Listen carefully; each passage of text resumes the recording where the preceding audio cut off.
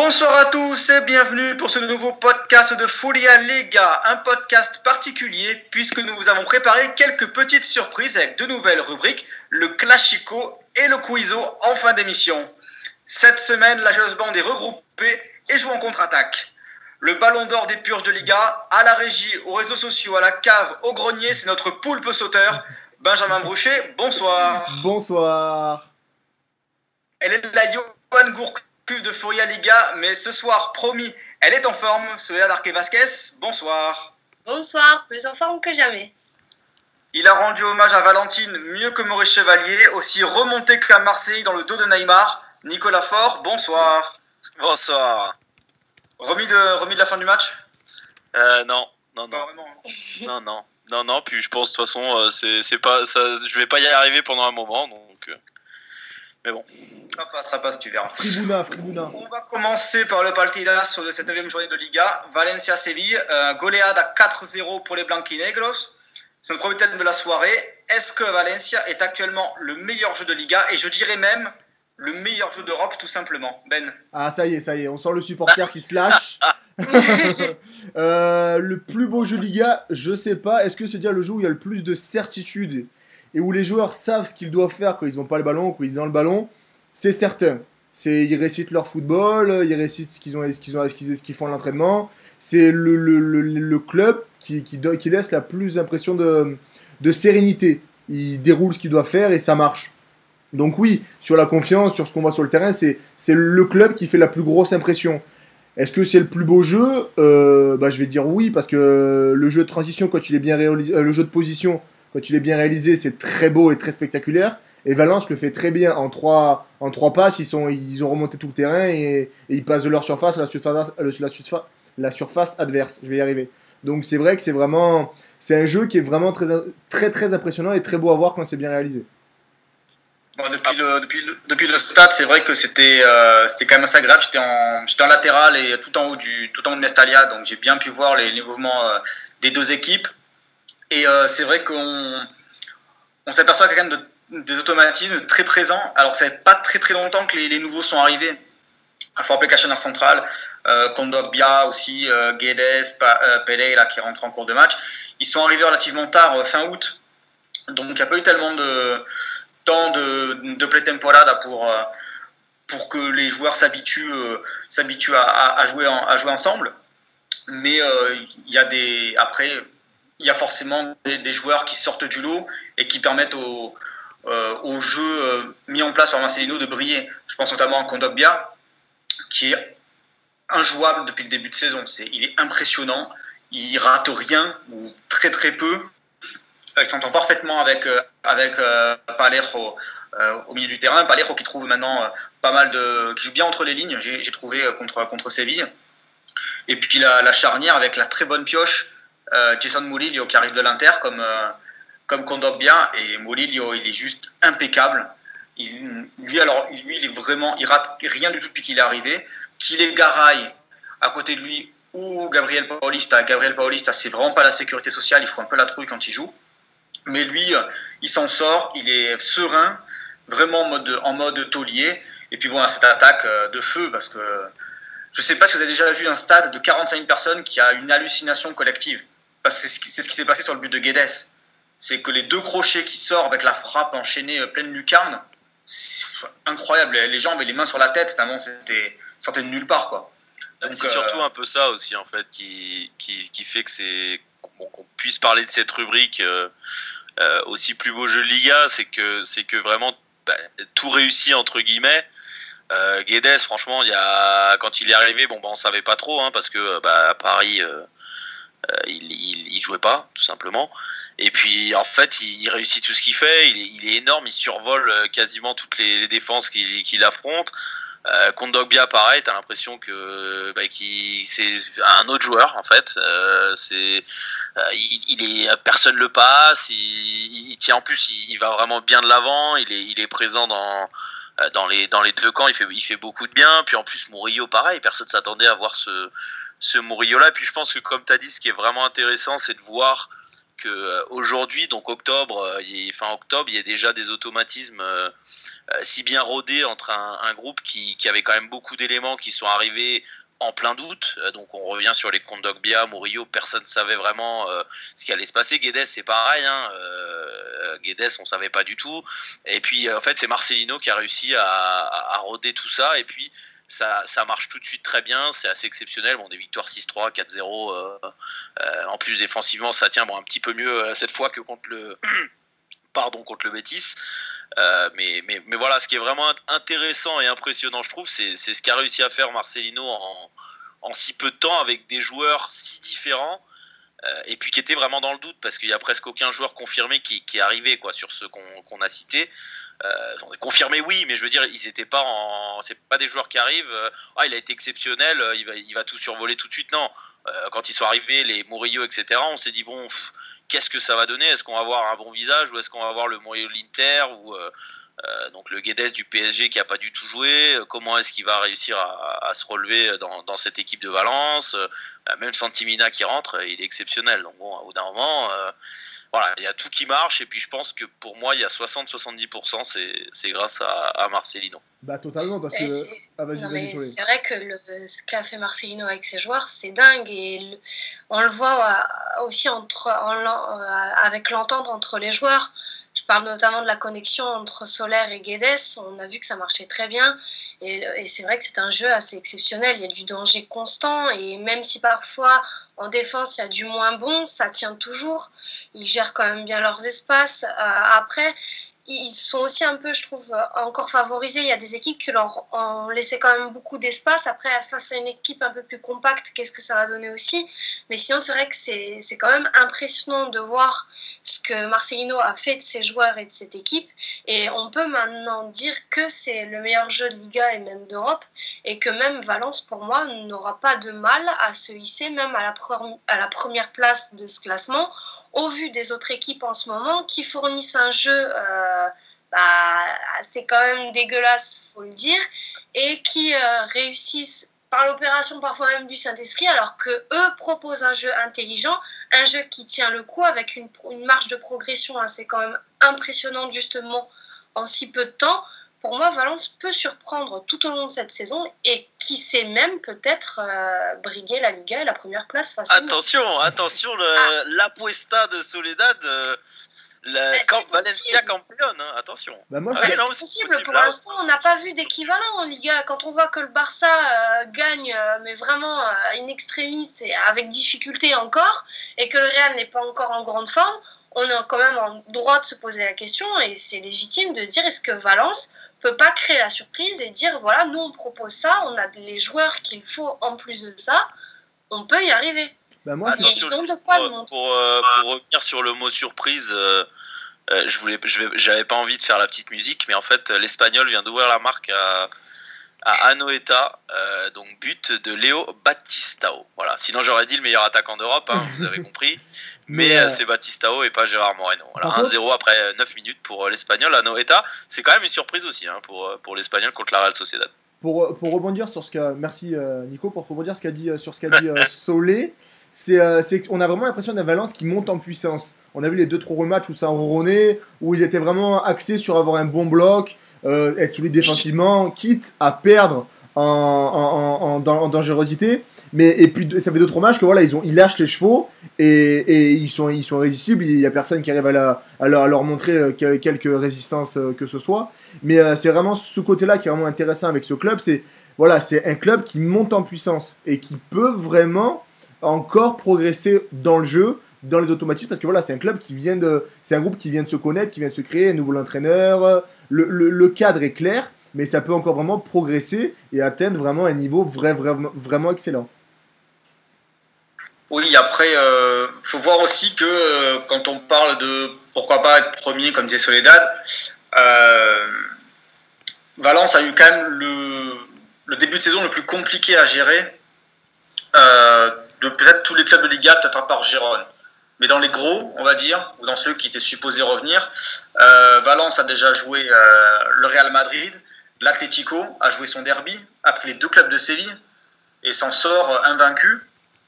Et euh, au début de saison, euh, et je pas heureusement qu'on prend euh, le Real Madrid, l'Atlético tout de suite, parce que si on le prend plus tard, on risque de se faire taper, de prendre cher. Mais je pense que maintenant, il y a des clubs de Liga, on en parlera plus tard, peut-être par rapport à Atletico et tout ça, mais qui sont quand même bien contents d'avoir pris Valence euh, dans les 2, 3, 4 journées, premières journées de Liga.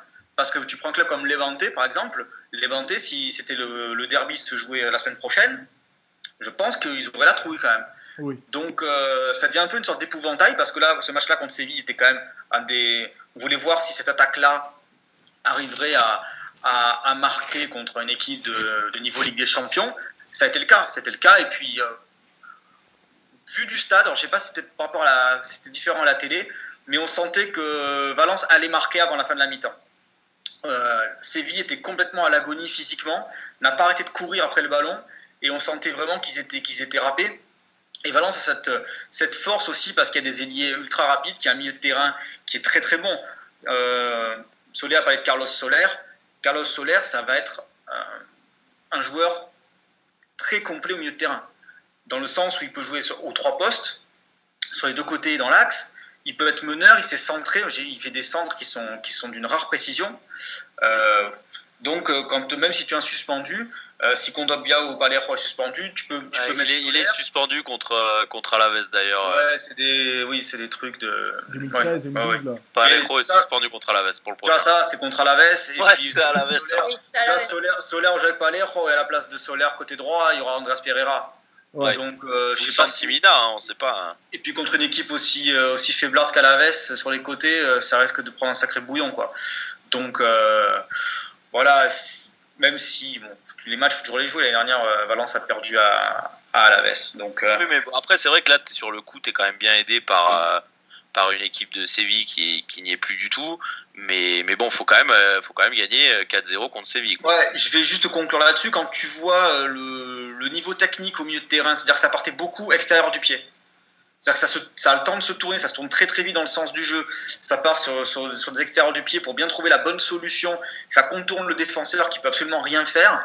C'était du très très haut niveau euh, samedi à Mestalia. Ça fait très longtemps qu'on n'a pas vu du foot comme ça euh, euh, à Valence, même à l'époque Nuno là.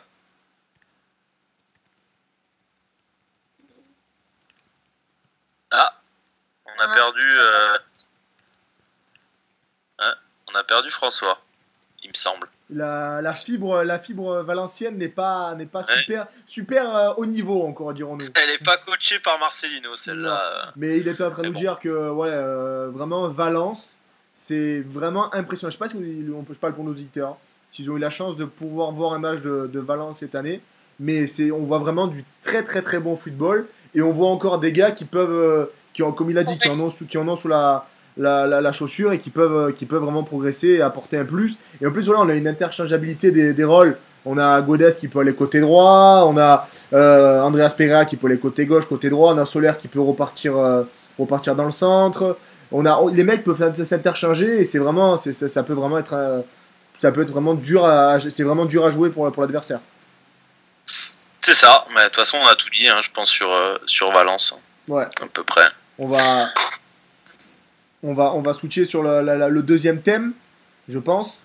Sur, bah, c'est le, revers de la médaille. Hein. Voilà, l'adversaire de, Valence, c'est, le, c'est, Séville. Séville qui montre vraiment une, petite image de, sa personne et du club depuis 2-3 depuis deux, trois semaines. Et, euh, et euh, le, bon début de saison, un peu, un peu chanceux et un peu en réussite parce qu'ils ont affronté des, euh, des clubs moins bien classés. Et, ils, sont, ils ont vraiment gagné juste sur leur, qualité. Bah, bah, là, le fond de jeu est une terre d'apprendre. Et et c'est vraiment, vraiment dommage. Donc euh, je laisse la parole à, à, mes confrères pour, euh, pour parler de plus un peu en détail de Séville. Alors Séville, oui, bah Séville c'est toujours le même problème. Si vous regardez bien, si c'est une équipe que vous avez l'habitude de suivre, Séville au niveau du changement de cap, c'est mort. Dès qu'il faut passer un palier, aller plus loin, il y a une sorte de blocage qui se fait. Et là, bon, il y a plusieurs explications à ce qui se passe en ce moment. Bon, on va pas revenir sur le débat du coaching euh, compliqué de Berizzo. Le manque d'équilibre dû à justement trop de rotation, bon bah ça se voit tout simplement. Il n'y a pas de 11 type. Pas de marque. et quand il y a des blessés aussi, bah là, on va le voir que ça devient vraiment catastrophique. Il n'y a pas aucun jeune mis en place, une incapacité totale même à être dangereux. Euh, c'est la même équipe quasiment qui a été euh, alignée là contre Valence que contre le Spartak. Donc euh, il n'y a a priori quasiment aucune remise en question qui s'est faite sur ce match. Correa, il, a été encore laissé par exemple sur le banc.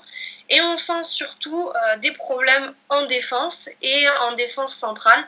Donc, parce qu'il y a deux hommes qui tiennent euh, la baraque en fait de ce vestiaire de Séville, c'est Pareja et Cariso. Et depuis qu'ils ne sont plus là, et bah ça, j'ai l'impression qu'il n'y a rien qui va justement dans cette équipe de Séville. On se retrouve avec quatre défenseurs centraux, on se retrouve plus qu'avec deux. Euh, Séville, là, vrai, ça devient vraiment compliqué. Il y a, c'est une équipe qui manque de marque, justement d'équilibre. Et Berizzo, euh, j'ai l'impression qu'il a vraiment du mal à se dépatouiller euh, avec ses joueurs et, de créer tout simplement un système à 11 solide.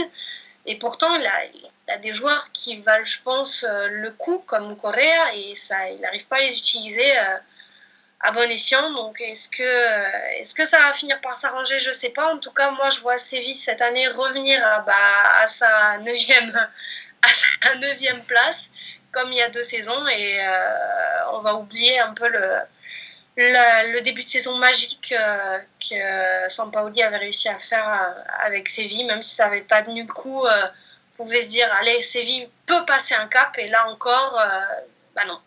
Bah, ça passera pas le cap. C'est vraiment le dommage. Problème, le problème surtout de, le problème surtout de, de Séville, c'est que tu as quasiment que des joueurs sur courant alternatif. Oui, aussi. C'est que tu as qui, qui actuellement est bon à tous les matchs l'anglais, ça s'arrête là.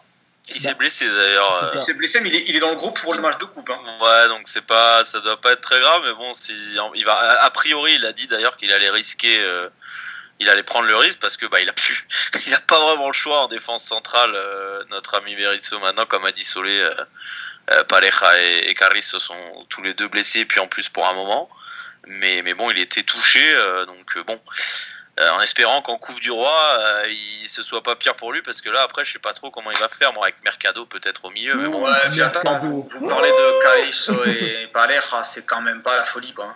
Déjà. Bah non, mais, mais c'est vrai que Pareja, quand il est sur le terrain, c'est autre chose, au moins. Euh, parce que moi, Kiaer, il vient d'arriver. Bon, Kiaer, en plus, il fait cette erreur à Moscou.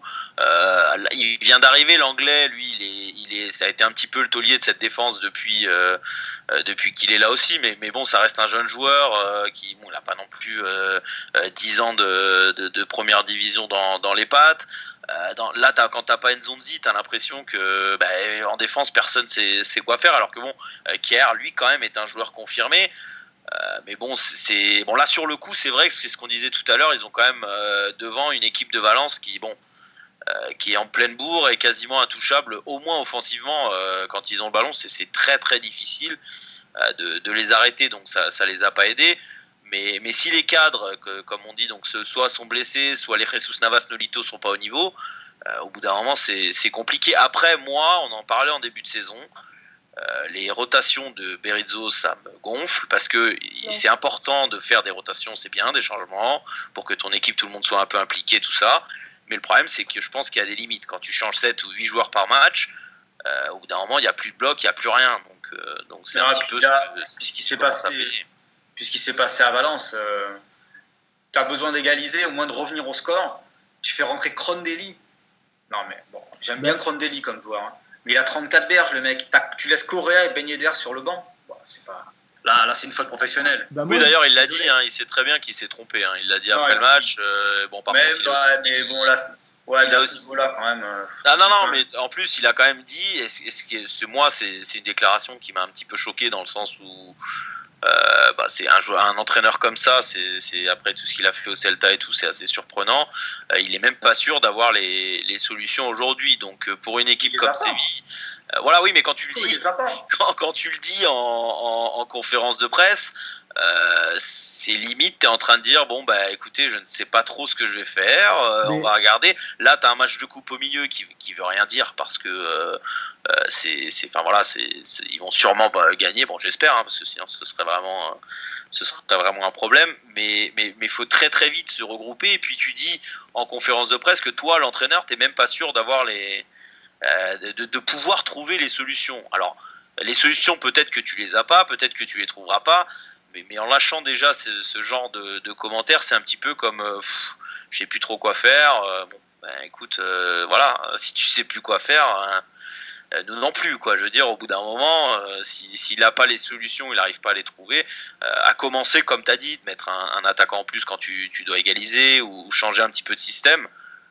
Voilà, bah, il le fait pas, donc je pense qu'il est un petit peu dépassé en ce moment.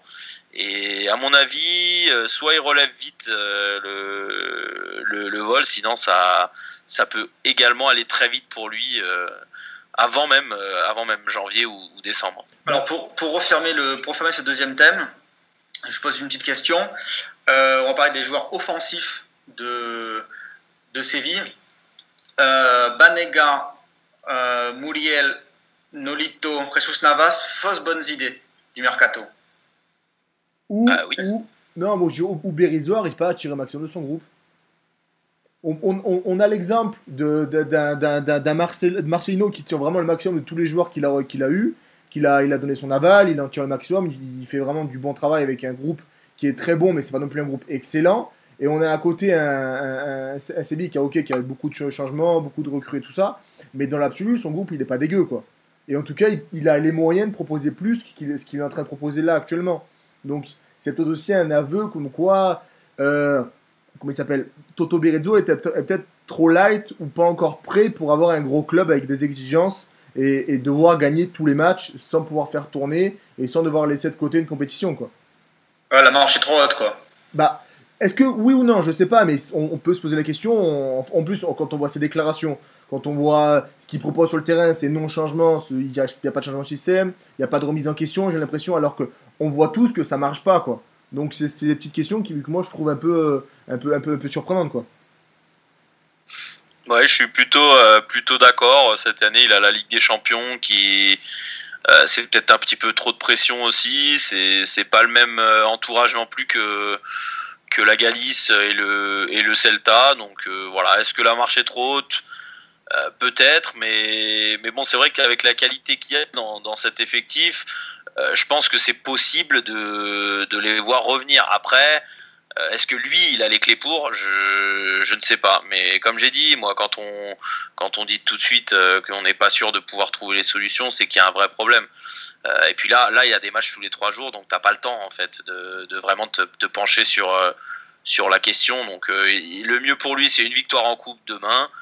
Euh, et puis euh, ou demain ou après-demain, et puis essayer de repartir euh, en, Liga dès ce week-end. Mais il va pas falloir que gagner, il va falloir qu'il commence à convaincre un petit peu aussi dans, dans le jeu, et c'est pas gagné du tout ça non plus.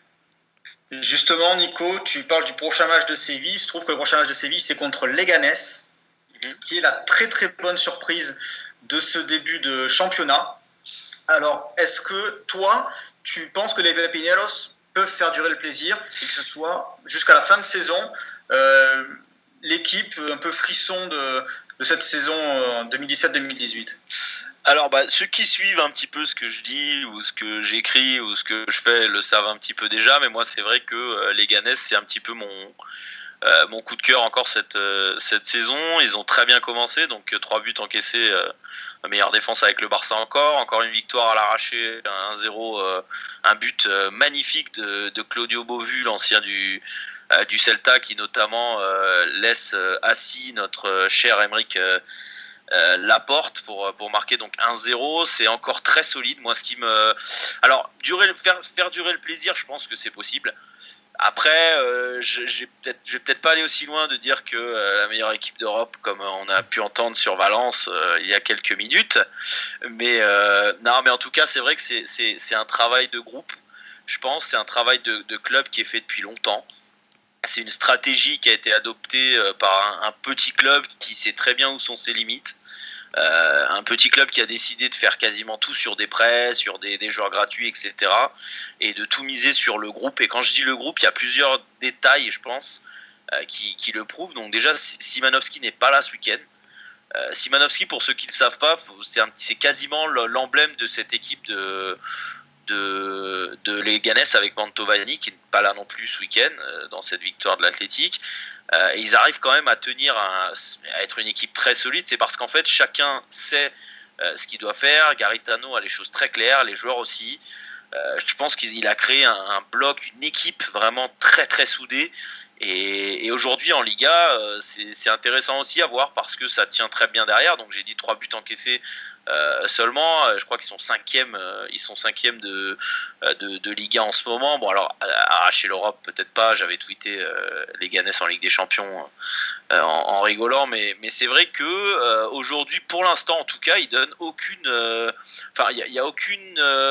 ils montrent pas euh, de, raisons pour lesquelles on pourrait penser qu'ils vont, qu'ils vont, euh, se, vont chuter, quoi, qu'ils vont succomber à un moment, parce que ça reste très solide, comme j'ai dit, et puis qu'ils tiennent la route, 1-0 à la maison, euh, contre une équipe de l'athlétique qui est certes très très mauvaise. j'ai presque envie de dire depuis qu'Iziganda est arrivé. Hein, c'est quelque chose d'assez horrible ce qui se passe en ce moment avec l'athlétique. Il, a décidé donc de mettre ce Vesga euh, sans crosser au milieu, c'est un petit peu n'importe quoi. Bon, il y a la blessure de Mouniaïn qui a.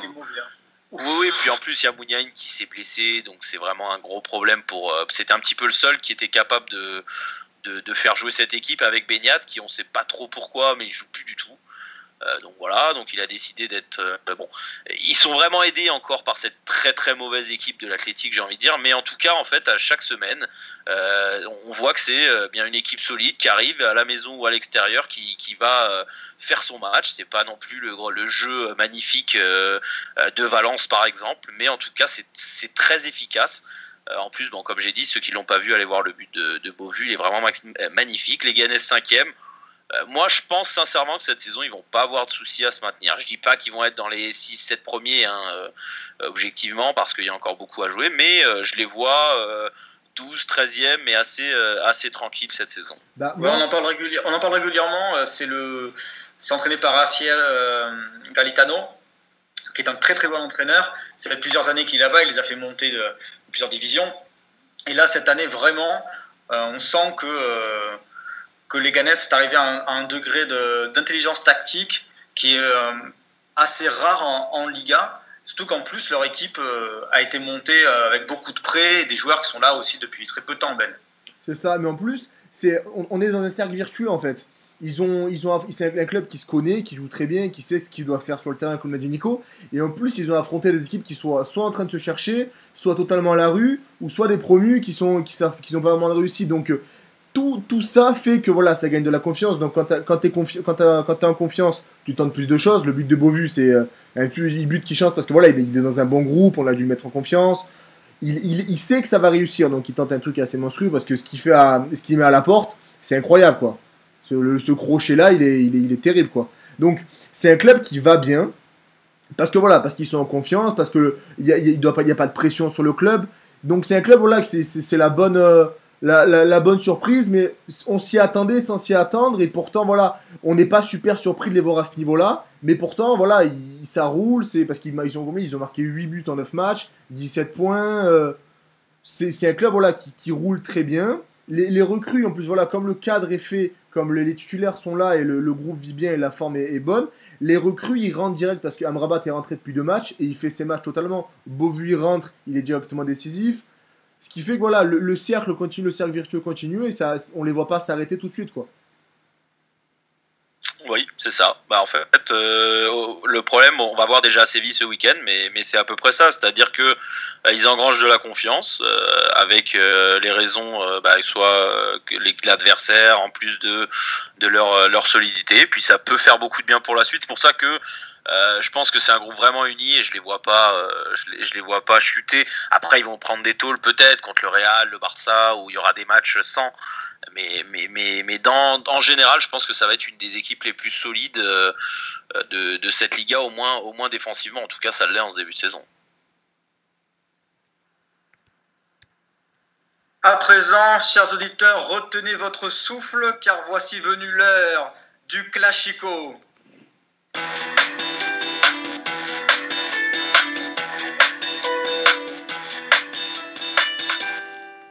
Le thème du soir concerne l'Atlético de Madrid et y en a marre del Cholo Simeone. Pour cette première, dans le coin rouge, Nicolas Faure qui n'en peut plus du jeu de l'Atleti. Dans le coin bleu, Benjamin Brouchet qui défend les Colchoneros. Et au milieu, pour arbitrer, notre Michael Buffer Maison, Soledad Arque Vasquez. Nicolas, c'est à toi. Alors bon, marre du Cholo, c'est vrai que c'est un grand mot, mais, mais encore sur ce, match de ce week-end. Euh, oui, sur ce match de ce week-end, oui, marre total. Euh, c'était encore horrible. Euh, donc cette victoire à l'arraché contre, le, Celta. Alors oui, à Vigo, hein, on va quand même le, rappeler, ce but de Gamero. Euh, oui, euh, c'est des points importants. Oui, c'est jamais facile, etc. Bon, le Celta, ils avaient gagné qu'une fois à la maison, il me semble, euh, avant, avant donc cette rencontre. donc c'était pas, pas non plus. Bon, Celta avait battu Las Palmas juste avant, mais ça veut pas dire qu'on était devant un, grand Celta non plus. Mais ils ont marqué et ils ont reculé. C'est ce que fait Cholo depuis tout le temps, jouer un petit peu à, en contre, à la grinta, etc., etc. Au bout d'un moment, eh bien, pour moi, ça ne va plus marcher. Alors là, ça a marché. Euh, aujourd'hui, par exemple, euh, au milieu de terrain, tu as Gabi. Euh, enfin, tu Gabi. lui, il est là. Donc son nom est là. Mais tu as l'impression qu'il n'y a rien dedans. Dans le joueur, il n'y a plus rien. il est, physiquement, il n'y est plus. Thomas Partey, sur ce match, il n'est pas bon du tout. Donc bon, après, voilà, c'est peut-être aussi sur, sur le coup. Thomas, il a fait des bons matchs aussi. Mais, mais tu as l'impression que si Griezmann il sort pas encore une, de ses folies euh, dans, un match, on va pas voir de, jolies choses euh, du côté de l'Atlético qui également donne l'impression d'attendre janvier euh, pour les arrivées de, Vitolo et Diego Costa comme, comme les Messi. Alors certes, c'est deux joueurs en qui il y a beaucoup de, beaucoup de confiance pour pour la suite, mais il faut quand même savoir que bah, Vitolo, on peut dire, hein, pour moi, bon Ben peut-être me contredira après dans ce tout nouveau Classico, mais, mais pour moi Vitolo c'est la pire. Euh, enfin, j'ai jamais vu un niveau aussi euh, aussi bas. Euh, avec, avec un club, bon, il a été blessé et tout, mais c'est vrai qu'il dans cette équipe de Las Palmas qui est pourri, il n'arrive même pas à, ressortir. Diego Costa, il va quand même passer six mois sans, jouer un, match, un match officiel euh, donc oui, il s'entraîne avec El Profe Ortega, etc., euh, etc. Mais il va quand même passer six mois sans jouer de match officiel.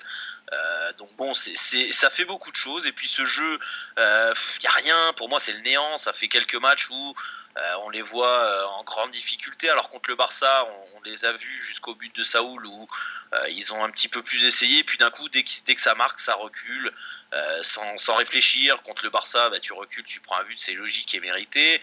Euh, contre le Celta, tu recules, tu as failli en prendre un ou deux. L'entrée d'Emre Mort, euh, il était sur son côté gauche. Emre Mort, il a, fait, euh, j'ai envie de dire, l'amour aux deux, aux, deux au latéral et au, milieu de terrain sur chaque action. Donc voilà, je pense personnellement que ça tiendra plus cette année. J'ai envie de dire que pour moi, bah, déjà, ils seront derrière Valence. Ils seront derrière Valence, Barça Real, quasiment sûr pour moi cette saison. Euh, et puis j'espère vraiment que Vitolo et Diego, Costa vont apporter ce qu'ils attendent parce que sinon ça peut même faire un petit peu la, dégringolade dans ce euh, formidable outil qui est euh, le, Wanda Metropolitano. voilà, c'est tout pour moi.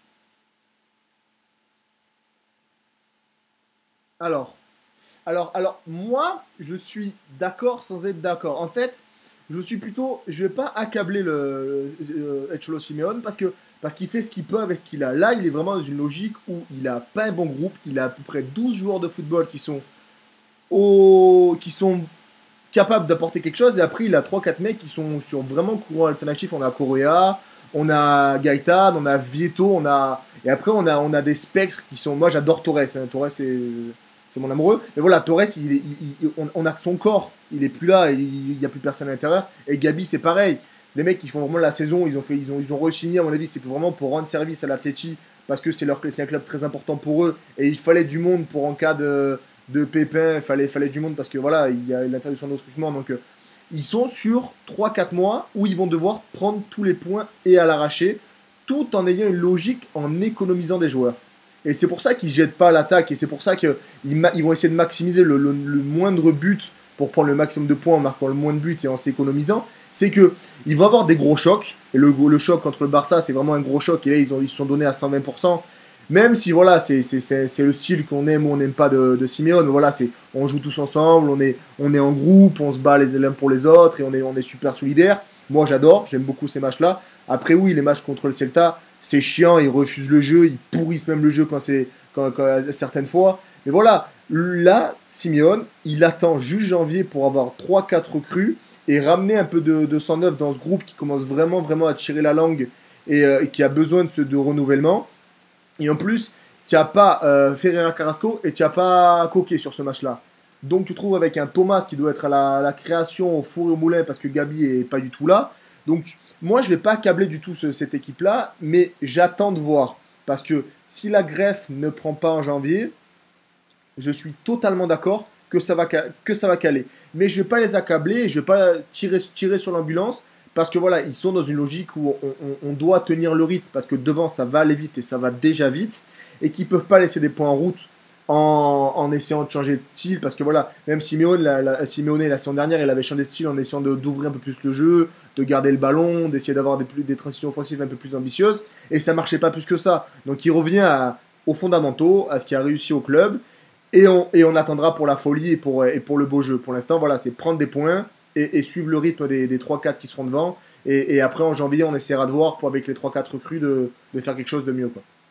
Après, euh, si, si t'attends Diego Costa pour la folie et le beau jeu, on est malin, mais bon. Ah, mais il, vient dans une logique de. de, bah, après, il vient pour. Il, y a Gamero. Gamero, il marque, mais pour moi, voilà, il n'a pas le niveau, il n'a pas, il a pas su progresser et se mettre au niveau d'un top club, donc il n'a il a pas réussi. Vieto, on n'y croit plus. Et après, ça manque de monde, quoi. Donc il va prendre euh, un Costa qui file des coups et un Griezmann qui fait de la folie, euh, ça va se tenter. Hein. Hmm, on verra si ça marche. Bien sûr. Mais pour moi, pour moi ce, que ce que présente la Techi, c'est pas beau, mais ça peut s'expliquer ah et, je le comprends. Mais c'est pas beau, je suis d'accord. Ah bah voilà, y a pas, je pense que c'est ça. Moi aujourd'hui, je pense qu'il y a un, euh, ça fait un petit peu trop. on verra si ça tient. Je, je les vois pas cette saison. Euh. sur ce que j'ai vu, c'est pas c'est pas fameux, mais surtout, je pense que ça tiendra pas sur le sur le long terme. Mais bon, euh, on, verra, on verra. Et bon, pour l'instant, moi, je suis plutôt pessimiste. mais bon, bon match, mon cher Ben, dans ce premier classico. Un plaisir. Un plaisir partagé. Euh, je, crois que notre arbitre euh, n'a pas survécu à votre affrontement. C'était trop violent. C'était trop courtois. C'était trop courtois, elle n'a pas eu l'habitude. Donc, euh... elle n'est plus là. je crois, je crois qu'elle, je crois que, je crois qu'elle nous a quittés. Je crois que l'araignée a eu raison d'elle. ah, ah, oui, l'araignée. Elle a fait une syncope là. Elle a fait une crise là. Ah ouais. Euh, pour prolonger ce débat animé, on va poster un sondage sur notre compte Twitter @furialiga. Stop ou encore le foot façon Cholo Simeone à retweeter et à partager, évidemment, sur les réseaux sociaux. Avant de passer à notre premier quiz, si Solead ressuscite. Euh, ouais, c'est pas, c'est pas gagné. Hein. ce quiz qu'on appelle euh, El Quizo, marque déposée par Nicolas Faure, qui fera un jour fortune grâce à ça. El Quizo. On va faire un petit résumé des autres matchs de Liga. Euh, Levante Retafe, ça sentait le match nul. Ce fut un match nul, un partout. Ben. Et, c'était vraiment pas, pas, pas, On n'a pas vu du beau football, quoi. On a Levante qui, euh, qui se met à reculer, à douter, ou ça se met à bétonner. Euh. alors que c'était quand même, on avait un, jeu plutôt intéressant, surtout avec le petit Bardi, avec, on a des bons joueurs de foot, on a avec Ivy notamment. Mais, mais là, je comprends pas trop la, logique, ça recule, ils ont pas vraiment proposé de trucs intéressants contre, contre, le, contre le. Euh, par contre, encore un bon match de Retafe. Ils doivent, normalement, ils doivent gagner parce qu'ils ont, notamment un but refusé sur un hors-jeu qui n'existe pas. Mais, euh, mais on n'a vraiment pas vu un, bon match. Et, euh, et, on a un Levente qui coule et qui vraiment est. ça, dans le jeu, on a ça d'élite et on, perd, on est en train de perdre le, petit truc intéressant qu'il y avait au début de saison. Et c'est vraiment, c'est vraiment dommage. Et, et dans sa ligne actuelle, solide derrière, et on joue les contres. Un Jenny qui s'est tenu la cuisse et qui a vraiment eu du mal à finir la, le match. Donc à voir si physiquement il commence un peu à peiner parce qu'il joue quasiment tous les matchs. Il joue les matchs à 135%. Donc euh, à voir pour la suite pour lui. Mais, euh, mais Retafe euh, qui, continue, qui continue son petit bonhomme de chemin et qui, qui reste intéressant. Après, voilà, c'est ça, c'est l'éventé. la question. Alors, tu joues Retafe qui est un promu, comme toi. Tu, tu joues Retafe qui normalement est un candidat, un candidat au, maintien comme toi, en tout cas un concurrent direct, j'ai envie de dire. Et, et puis décide encore une fois de sortir avec Lerma, Campagna et Robert euh, au milieu de terrain. Donc, euh, alors que Tabardi, comme euh, comme l'a dit Ben, c'est quand même le joueur de ton début de saison. Le, petit Bardi, qui d'ailleurs il rentre en, deuxième période, il est décisif tout de suite sur l'égalisation de, de, Morales. voilà, donc je sais, je pense que quand il sait, il y a eu quand même un coup de moins bien de cette équipe de Levante. Il cherche des coupables, il sait pas trop, il sait pas trop par où par où passer. Déjà le premier qui est qui est justement passé, c'est Tonio, euh, sur, sur le côté gauche, alors qu'il avait fait un début de saison euh, assez incroyable aussi. D'un coup, on a Luna euh, qui, qui, ressuscite, hein, le pote d'Enrich, qui est lui aussi en, grande galère à Ibar notamment. donc voilà, je je comprends pas trop ce que fait ce qu'a fait Mouniz sur ce sur le coup sur le coup. Finalement, il s'en sort pas trop mal parce qu'il prend un point un petit peu le hold-up donc contre contre cette équipe de Retafe. Euh, mais, mais voilà, je ne comprends pas. Donc Robert, Lerma, Campagna, j'espère vraiment qu'on ne le reverra plus. On espère revoir le Bardi. Euh, on espère, voilà, sachant que Nano Messa est blessé deux mois hein, aussi. Euh, finalement deux mois donc pour, pour Nano Messa qui Allegria a été dangereux. Allegria a été dangereux sur le match. Voilà, donc ce sera c'est ce que c'est ce que j'allais dire. Je pense qu'à mon avis, Allegria sera sera numéro numéro 9 pendant ces, ces deux mois. Euh, ou Boateng, hein, on verra. Mais, mais bon, en tout cas, euh, j'ai vraiment déçu, déçu sur le coup par, euh, par, cette, par cette décision de Mouniz et ça a failli lui coûter cher. Vous m'entendez? Oui. on a retrouvé Solé. Oh. Qui nous parle Qui nous parle Je pensais que l'araignée avait eu raison de toi. Non, non, c'est bon. Elle ah. m'a pas mangé. Je suis là. Spider. Voilà, non, un jour on, comprend, on comprendra pas ce qui va nous arriver. euh, justement, tu tombes bien, Solé. Euh, Betis à la euh, 2-0 pour le Betis. Beldi Blancos, tranquille hein, contre, euh, contre un, club de la zone rouge. oui, tranquille. Un match, bon, pas non plus très passionnant, mais euh, le Betis quand même au-dessus. Collectivement, je les trouve encore un peu justes, mais il y a vraiment de fortes individualités au sein de ce Betis. Et comme des joueurs comme euh, Adam, Bargan, Guardado et Sanarabia, mais quel attaquant Encore Joaquin, bah, ils ont fait le job. quoi. C'est encore fébrile aussi en défense, mais il y a euh, quand même des joueurs qui ont une présence assez forte et qui savent faire la différence quand il le faut. Euh, bon, ça manque quand même encore, je trouve, un peu de jeu collectif et d'un peu plus d'organisation pardon, en défense du côté du Bétis. Bah, je pense, voilà, c'est un petit peu ça. Collectivement, on ne voit pas encore euh, le, Las Palmas de, des six premiers mois de la saison dernière de Sétienne. Euh, par contre, individuellement, on voit cette équipe de Las Palmas aussi, qui avait des, Jonathan Vira, euh, euh, Boateng, etc. Là, là, on a un Sanabria qui il marche sur l'eau depuis, quelques, matchs. Il marque encore, c'est lui qui la marque. Hein. bon, encore face à une équipe d'Alaves, bon, ça va être très très compliqué à mon avis cette saison. Mais quand on regarde sur le papier, Joel Campbell, c'est quand même un très bon joueur. Boudbouz hein, qui revient, il était blessé, il est revenu là, c'est euh, ses, premières minutes depuis la blessure. Il devrait jouer en plus en Coupe du Roi, donc bout de bouse. Sergio Leone qui est, là, il est même pas titulaire. Euh, euh, Sergio Leone. Sanabria, il est, a un niveau exceptionnel aussi. Joaquin, bon ben, on dirait qu'il a, qu'il a 20 ans. Donc voilà, ça, offensivement, ça carbure beaucoup cette équipe de, de Sétienne. Euh, Javi Garcia qui fait beaucoup de bien milieu, Guardado, bon, c'est vraiment joli à voir. Moi, je pense qu'on va être surpris par, euh, cette équipe s'il arrive à, comme a dit, euh, à faire un tout petit peu plus collectivement. Euh, je pense qu'on peut voir une équipe dans les dix premiers, hein, ce, ce Bétis, mais surtout également un des plus beaux jeux de Liga. Parce que quand ça tourne, quand même, ça va très vite. Euh, que ce soit avec Sanabria, Campbell, etc. devant. Euh, donc ça, ça peut aller très vite. Mais bon, c'est vrai qu'aussi défensivement, il manque un petit quelque chose. Mandy, Fedal, c'est pas non plus euh, agence touriste derrière. La sécurité sociale, comme dirait notre ami FM. Ouais, je reprends les expressions de Jean-Michel Larquet. voilà. C'est mon, c'est mon côté jeune. La jeunesse. ouais, ouais, c'est la jeunesse totale même. Mais est-ce que, vous avez, est-ce que vous avez résolu ce problème de place? Bref, ah, si, vous, n'avez pas les références aussi. Oh euh, Villarreal a fait une deuxième mi-temps quasi parfaite contre Las Palmas avec un petit 4-0 vite fait, bien fait, euh, Benjamin. Ouais, c'est plutôt Las Palmas qui a complètement sombré parce que. Avec Ayestaran, pourtant un maître, un maître tacticien. Ah, mais, le prof, ah de, le prof de PS ne réussit pas à, faire, à, bien coacher une équipe comme quoi, c'est surprenant. Il, y a, il, y a, des choses comme ça, on n'y croit pas et pourtant ça se passe. Euh, non, mais là, en première mi-temps, euh, Villarreal est pas top, Las Palmas est pas top, ça fait match nul, on s'y attend. Rémi, il va falloir lui filer un ballon, je pense, pour Noël, parce qu'il lâche pas un ballon tout cher. Mais, euh, mais, euh, mais sinon, deuxième mi-temps, Las Palmas craque complètement 20 minutes, ils prennent 3 buts.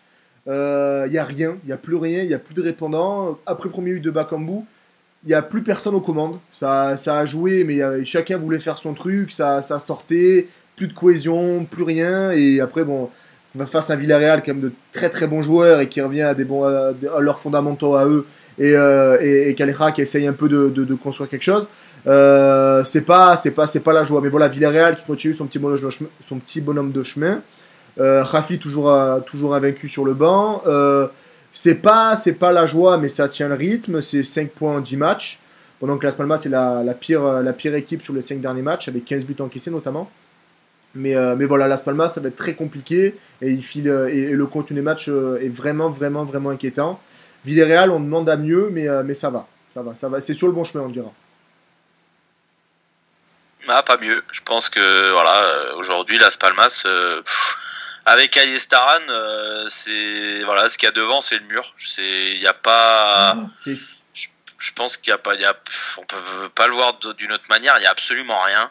Euh, Jonathan Vira peut-être qui essaye mais il est tout seul. Vicente qui revient mais il est pas il est pas encore physiquement là, ça se voit. Vitolo à la place de Rémi sur ce match-là, je comprends pas. Vitolo, il est en claquette. Rémi, il est pas super bon, mais il, arrive à proposer, il est dangereux.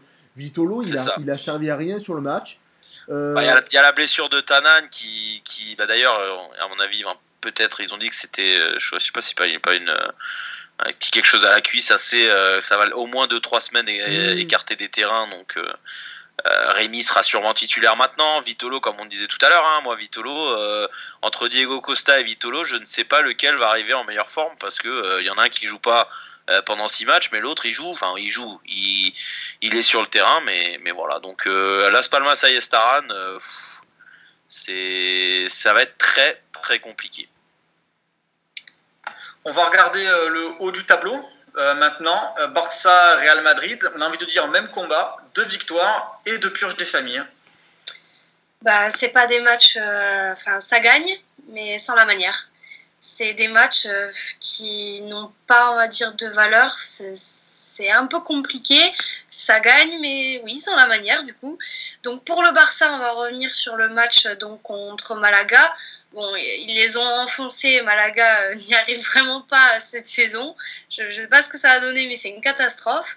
Bon, pour le Barça, euh, il y a pour moi quatre hommes qui tiennent à peu près la route dans cette équipe et qui permettent justement au Barça quand même de gagner. C'est Umtiti, Messi, Busquets, Busquets à la rigueur et Iniesta. Au milieu, Rakitic n'apporte plus rien. Il n'arrive plus d'ailleurs à apporter grand-chose. Ça, devient compliqué pour lui. Et Suarez, mon Dieu, quelle catastrophe. Alors Suarez sur l'aile gauche, ça pas possible, c'est pas possible. Il n'a pas du tout des qualités d'ailier, mais plutôt de neuf. Moi, je laisserais clairement plus de champ à Denis Suarez. je ne suis pas la seule, à mon avis, à avoir cet avis-là. Euh, Messi est encore trop seul et voilà. on compte sur une poignée de joueurs, mais il n'y a pas. C'est un jeu encore bien dégoûtant à regarder et qui n'avance pas. Pour le Real, c'est pareil. Alors Ronaldo, qu'est-ce qui se passe? Un petit coup de fatigue ou tout simplement une mauvaise gestion peut-être euh, des égaux devant au Real.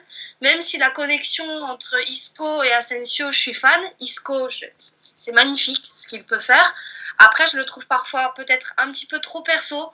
Donc euh, peut-être que Ronaldo fait aussi les frais. Il y a eu beaucoup de gâchis encore hier. Euh, et c'est là pour moi que Benzema a un rôle quand même assez, assez fort c'est qu'au niveau de l'animation offensive, bah, il apporte un truc euh, énorme. Il y a tout de suite plus de rythme et on, tout de suite plus engagé. Et surtout, il réunit ses coéquipiers, il apporte vraiment au collectif de cette équipe. Euh, c'est vraiment depuis qu'il est, euh, qu'il est revenu de sa blessure la semaine dernière, c'est, on voit qu'il y a une différence, surtout au niveau du collectif et devant. Et pareil, l'entrée de Marcelo aussi qui a été décisive hier, notamment dans cet apport de rythme. On peut être une crise passagère, on a vu ce genre de match aussi la saison passée. Bon, euh, fait peut-être un, mercato aussi un peu euh, juste. Euh, bon, on verra passer. peut-être après le mercato hivernal, ça peut aller mieux. Bon, pour moi, il n'y a pas non plus, à mon avis, trop à, s'en faire du côté du Real. Il y a quand même, quand même des joueurs assez forts et Ronaldo va vite, à mon avis, reprendre du poil de la bête. C'est une question de temps. il faut juste, à mon avis, peut-être gérer tout ce petit monde devant et au milieu et peut-être que ça pourrait aller mieux. Alors j'ai une grande théorie sur Cristiano Ronaldo. S'il est moins bon, c'est parce que parce qu'il voit l'image de Gonzalo Guedes, il va être il va être meilleur que lui.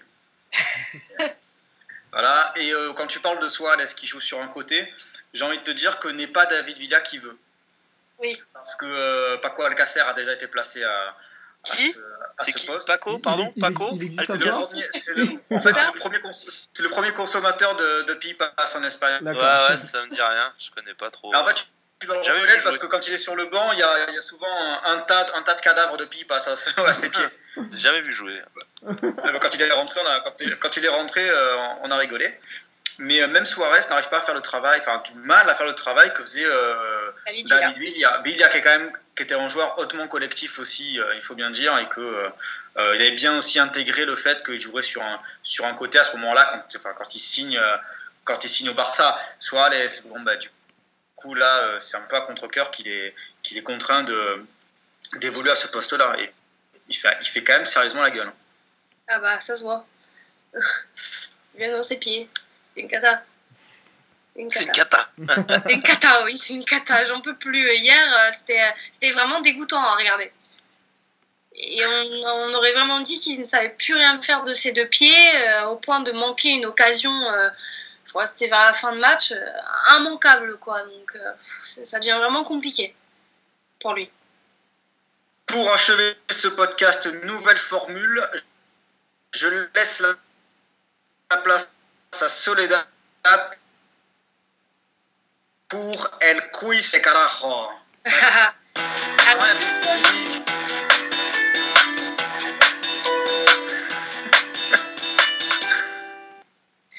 Ah oui, alors premier quiz euh, du podcast. Alors il y aura du facile et du moins, moins facile.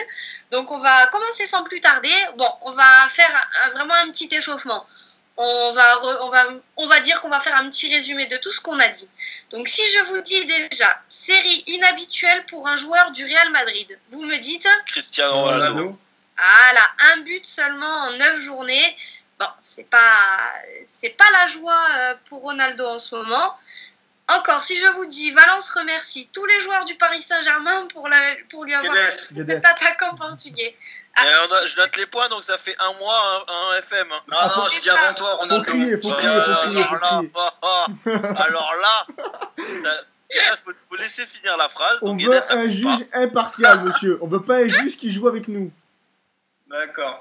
Voilà. je continue. De, troisième question un peu facile elle, fait partie des petites équipes promues de la Liga, la moins d'Europe. Ah, c'est, je crois que c'est FM qui a répondu. Euh... Non, c'est Ben parce que FM n'a pas laissé la fin du, de la question. Et oui, c'est les règles. Ça fait Attendez bien que j'ai fini la question, s'il vous plaît. Non, non, non, moi je suis, moi, je suis désolé, je prends, je prends l'espace quand il y a la passe en profondeur, les gars. Ah oui, mais il n'y a, y a, pas le buzzer, tu étais hors jeu là. Donc euh, c'est Ben qui a marqué finalement 1-1-1. Euh, D'accord, ok. Un point ok, je vois. Il faut que je vous laisse gagner en fait. non, faut laisser finir la question. C'est la seule chose que. Ok, ok. Allez, là ça va commencer à se corser. Attention, ça va parler de la Copa del Rey. Donc si je vous dis Mister Pentland a ouvert la voie, vous me dites. Wow. Alors on attend hein, que la question elle finisse. Ah bah là c'est ça. Bon, je vais vous aider un petit peu. Attends, redis, le... la question, j'ai pas entendu. Alors, si je vous dis Mister Pentland a ouvert la voie. Ça parle de l'Athletic Bilbao. C'est pas le premier, c'est pas le premier entraîneur de anglais à avoir remporté une Coupe du Roi? Non, non, c'est sur le nombre de coupes gagnées. Ah là, je vous aide beaucoup là quand même. Moi, je n'ai aucune idée. Vous donnez votre langue Ah. au chat? Ouais. Attends, attends, attends, attends. on va. Ça, c'est une moyennement difficile? Ah oui, si les autres elles sont plus dures, euh, ça va. Hein. Alors, je, il a ouvert la voie parce que il a gagné tant de coupes. Le Real a fait pareil, le Barça a le même nombre de coupes. Vous y Ouais, êtes ou pas? Ouais, c'est le, c'est le, c'est le, oh le record de coupes remportées, mais c'est dans les années 20 ou 30, ton machin là. Ah bah, eh, eh. Ah bah ça fait zéro, c'est zéro chacun, c'est pas grave. Bon, allez, je vais vous la donner. Donc, c'est seul l'Atlético Bilbao et le Real Madrid. Donc, Atlético Bilbao entre 1930 et 1933 et le Real entre 1905 et 1908. Ah, fait Les deux équipes à avoir remporté quatre Coupes du Roi consécutives. Ouais, ouais, c'est vrai en plus. On le savait, on le savait. Ah, C'est moyennement dur celle-là. Ok. oui. Alors là, ça va encore plus se corser. Oh là là là parce que j'ai quand même, j'avais quand même trouvé l'histoire de la Coupe du Roi hein, avec. euh, Elle a au Ah, Non, t'inquiète, c'est moi- c'est moi qui note les points et t'as, comme moi, zéro. ah, c'est- fait. Oh là là. Bon, Ouais. celle-là, elle est peut-être plus accessible. Donc, hier, il a fêté ses 44 ans. Il est passé par le Villar... les cages de Villarreal. En plus, je vous donne un Euh, indice. hein. Zou- Villarreal, Zubizarreta. Andrés Palop. Zubizarreta. Gagné FM. Ah non, pas non, l'op, ouais. c'est Zubi- Andrés Ouais. Palop. Donc, il est- voilà, il a. Alors, si veux, euh, 44 Alors, si vous voulez, je voulais une petite anecdote sur Andrés Palop. Ça fait pas plus de points. Non, non, ça fait plus de points. Tout de suite. Tout de suite. Euh, il a appris à faire des relances euh, à la main particulièrement longues et précises parce que euh, euh, son père cultivait des melons et au lieu de s'entraîner avec des, avec des ballons, il s'entraînait avec des melons. D'accord. Ah, d'accord. Voilà. Bon, bah, on le Ouais. saura maintenant. Oui, c'est dingue ça. Non, bah je te mets pas de points. voulais- Allez, on passe à la question suivante. Attention, euh, elle est un peu dure aussi celle-là. Il a battu le record de Kempes en 1977. Euh, Zaza. Zaza, ah, ouais. bien Oh là là Oh, Attends, attends, attends, Ah, attends. C'est le, le, le, le, le seul buteur étranger qui a marqué plus de 5 fois ou 6 fois d'affilée, non C'est ça, en Liga C'est ça, 5 matchs Ouais, consécutifs c'est ça, d'affilée. Ouais, mais Sanabria, Oh, il arrive. ah, tu m'as Sanabria, il arrive. C'est un rien, Ben. Ah, le, le démarrage, le démarrage Nico. Nico, j'ai- Nico, j'ai pas mis point, hein. Euh, non, mais t'en Quasiment en même temps. Juste ça, je dis rien. Avec ta connexion, des fois, incorruptible, j'entends c'est pas. Il, il Alors, est incorruptible, attention. Nikos. Cette question, c'est une question un peu insolite. Alors, quel club emploie des chasseurs de pigeons en Liga? Neymar. Non. Oh, Les Ganes. Super. Les vantés. Les Ganes. Non Ah, les pigeons. Ah, les Ganes, ouais, il y en a peut-être au Rwanda, à l'Atlético. Non Vous allez pas tous Ah, les c'est savoir au- quand même. Euh, Celta. C'est au, Bar- c'est au, c'est au Barça? Non. Villarreal. Si- Ah non, au, Ah, Bar- au Barça, ils font. Qui a dit Villarreal C'est moi. Eh ben c'est bon, c'est gagné. Ah, Ils ont légalisation. envoyé plusieurs rapaces pour euh, chasser les pigeons qu'il y avait autour du stade de la Ceramica parce qu'apparemment c'est- ça devenait pas très hygiénique. Ah, Non, mais C'est- et- je confonds, je confonds le Barça, ils font rentrer dans le stade, les pigeons. Je suis désolé. Autant- Oh, il voulait la faire celle-là. Je vais te mettre elle, un elle point. était Allez. préparée, celle-là. Elle était préparée. Ah non, je mets pas de point, je rigole. Non, mais en fait, ce qu'il fallait, on aurait dû limiter à, à deux équipes chacun, mais bon, c'est trop tard. J'ai mon point, tu peux continuer. Allez, les trois, les trois dernières. Donc là, on va un peu dévier sur le championnat français, mais ça reste un joueur phare de Liga, donc je voulais le mettre quand même. Et ça va être facile pour ceux qui ont vu le match d'hier. Un but et un carton rouge pour son premier classico. Neymar. Neymar. C'est Ah, moi. C'est moi, c'est moi, c'est moi, c'est moi. C'est Non, non, non, non, non, non. Non, non, non, c'est moi, c'est moi. Là, je porte bah, réclamation. zéro et demi chacun. Hop. Zéro et demi. Là, je dis réclamation, Une répartition de points un peu bizarre. Ah bah de toute façon celui qui répartit les points il choisit. Déjà estime-toi heureux que j'ai pas mis le point pour moi. Oh, putain. Euh, mais, de toute façon c'est on s'est enregistré donc on écoutera tout à l'heure. Et on écoutera tout à l'heure. Ah et en plus je crois que FM a lâché donc ça fait un adversaire en moins.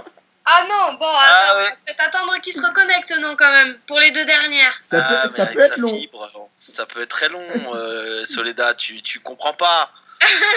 Dommage. Oh là là, les mauvais Eh. joueurs, quoi. Ah non mais faut du matos, faut du matos. Il nous parle de Oh la fibre valencienne Oh et bah- tout. Non, il va revenir, il va revenir, il va revenir. On va attendre. On attend, Donc on je fais un petit euh, recomptage, Allez, comme on dit. Il faut faire un récap. Qui a Alors. quoi pour l'instant? Ben, pour l'instant, tu as deux points et demi. Allez. Voilà. Euh, FM 2 points et moi 2 points et demi. Le ennemi va, va, vouloir son pesant de cacahuètes, le, le et demi. Bah, attends, attends, parce que le et demi, je t'explique, c'est jusqu'à ce que tout à l'heure André écoute le podcast, enfin au moins ce, ce, moment du podcast. Et on, là, c'est comme, la, comme avec les, le PMU. Tu vois, là, hop, euh, photo finish. Parce que moi, je, je suis persuadé que, je l'ai dit avant. Non, c'est bon. Si on est plus, il va y avoir des duos qui vont être faits. bon, ça sera plus simple. Euh... Ah, mais il faut des buzzers, il faut. Ah, il triche en plus Ben et tout, donc c'est bon. ah non, mais moi, je, on, on écoutera, mais bon, pour l'instant, euh, demi chacun. Euh... FM, qu'est-ce qu'il fait? Il F... revient ou... FM, FM et pas de retour. Ah, bon, qu'est-ce que je fais? Je continue? Et on lui met 0,5 pour la panne? Non, non, on ne met rien. Non, non, je refuse. bon, allez, je vais faire la... une prochaine facile alors. Citez 4 joueurs espagnols à avoir gagné le prix Golden Boy. Ah, mais ça, on va, va pas y arriver. À... Alors, Golden Boy, Golden Boy. Isco, euh... 4, le plus rapidement possible. Isco. Euh... Ça fait 1. Isco. Euh... Golden Boy, putain. Euh... Bah, je sais pas. Isco. Isco. Asensio, non? Non. Non, je crois pas, non. Non, mais. Euh... Ah. Euh, bon, allez, je vous aide. Il n'y a... a, pas des Je vous dis la Pulga. Euh. Ici? Ah oui, bien sûr que oui. Ah, mais t'as dit espagnol. Ah, tu voulais dire de Liga Oui, de Liga. Il y a Derrea ah. qui l'a gagné, non? C'est pas qui? Derrea. C'est pas un des seuls gardiens qui l'a gagné? Euh, Si, il me semble. Euh... Euh, à vérifier. Je l'ai pas dans ma liste là. Ah d'accord. Ah euh... attention, le retour de FM qui a 0 points. Donc, vu, que, vu qu'il rame un peu, je répète la question, il faut, il faut me citer le plus rapidement possible 4 joueurs de Liga à avoir gagné le prix Golden Boy. Torres. On a Isco Torres, et Messi Isco. déjà. Torres, Isco. Euh, Fabregas. Messi, oui. on a dit. Euh... Bah, ça y est, avec Messi, t'en as 4. Hein, ah, bah, il y en a 4. Donc, bon, c'est FM qui en a quand même le plus donné. Mais c'est moi Non, c'est Ben. ben. oui. Ah oui, non, c'est toi. J'ai cru que c'était FM. Elle connaît pas les voix euh, de, de Ben. Bah pas... non, parce que vous avez des voix qui se ressemblent un peu. Ah, ah oui, non, mais je vous assure. Attends. Bon, a... bah la dernière, hein, pour la route, il est le joueur qui a emporté la poisse. Il est le joueur espagnol à avoir emporté sa poisse jusqu'en Chine. Joueur espagnol eh, Qui a emporté sa poisse jusqu'en Chine. Celui-là qui a dû perdre le championnat. Euh... Sa poisse jusqu'en Chine. Quel, quel espagnol Était, Il est connu comme être le joueur le plus poisseux déjà de Liga. Et il a porté sa poisse à 33 ans en Chine. Le de, poisseux des blessures? Non, non. Si je vous dis relégation. Ah, qu'il a fait que de. Alors là, relégation, c'est quoi? Un mec qui, qui, a, qui, a, été relégué chaque saison Cette saison, il, était en... il est allé en Chine ou il était. Oui, oui, cette saison-là en Chine et euh, 4 fois en Liga. Donc alors, c'est un du sporting. il est passé notamment par Murcia et Cadiz, ou encore Tenerife. Oh, oh là là là là Ah, celle-là, elle est dure, hein ah, elle est pas mal. Euh... Donc l'année dernière. Alors, ça commence par N. Mais l'année dernière, il était en Liga alors euh, Non, non, il a joué, je crois qu'il a joué que euh, en seconde division en Espagne. Il est passé par euh, Llagostera, Tenerife, Murcia et Cadiz, et à chaque fois relégué. Ah, putain. Ah, moi je pourrais ça pas. Commence, euh, son nom, ça commence par N. Et ça finit par O. Nano? Non. il a 60 Il a tenté la roublardise du garçon, quoi. Ah, j'ai tenté le coup, ça n'est pas fait, celle-là. celle-là, sais pas, c'est bon. Pas ça. Ah, Nolito? Non. ouais, non. C'est pareil. Mais... Ah non, je... N et. Ah, je... Alors je l'ai là, pas, euh... je l'ai pas. Naldo Ah, ouais, non. Non. Je Vous pas. vous donnez votre langue au chat? Ouais, ouais, Pas tu vois. Donc, Natalio. Alors là, Oh là là Mais alors, j'étais pas du tout sur la bonne Ah ouais, quoi. non, mais. Ouais, je l'av- je l'avais, mais je voulais pas le dire. en fait. Allez, euh, Ah ouais, je l'avais, mais je voulais pas le dire. mais il lui arrivait quoi Fallait le dire au moins. Il lui arrivait quoi en faire Chine à le. ce garçon? Le- Et Alors, bah mon quiz c'est terminé. Donc, Voilà. euh, donc le récap, si tu veux. Donc Ben, premier de ce quiz. Ah bravo. Merci. Tu es avec 3 points et demi. Voire 4, 4, 4, 4. Non, 3 points et demi pour l'instant. Deuxième, Nico avec 2 points et demi. Et troisième, FM avec 2 points. Malheureusement, euh, un petit problème, euh, une blessure au milieu du quiz, Del Quizo, euh, qui, qui t'a pas permis de lutter à fond pour le Golden Boy. Mais bon, ce sont des choses qui arrivent, hein, des blessures, des, des faits de jeu, quoi, comme on appelle, la, la polémica. Je sais, mais je suis comme Alexandre Jardin, j'ai frais. Voilà, t'es dernier, et puis voilà. C'est déjà la fin de ce podcast qui était euh, aussi brillant qu'animé. Il sera disponible sur différentes plateformes sous peu pour écouter en ligne ou en téléchargement pour tablette et smartphone. Il s'est démultiplié ce soir, notre mix de Luca Modric et de Casemiro, Benjamin Bruchet, bonsoir. Bonsoir. Elle a survécu une attaque d'araignée, notre guerrier la façon Arlit Sadoulis, Soledad Vasquez, bonsoir. Bonsoir à tous et à la semaine prochaine. Il a encore été percuté en attaque. Notre Simone Tzatza en moins chauve. Nicolas Faure, bonsoir. Bonsoir et merci. Ah, il m'a arnaqué sur le quiz, Nicolas Faure, bonsoir. Retrouvez-nous sur folialiga.fr, sur notre compte Twitter, sur nos podcasts, nos vidéos YouTube. Et on vous dit euh, à la semaine prochaine. Hasta luego, à bientôt, adieu. Ciao. Ciao, ciao.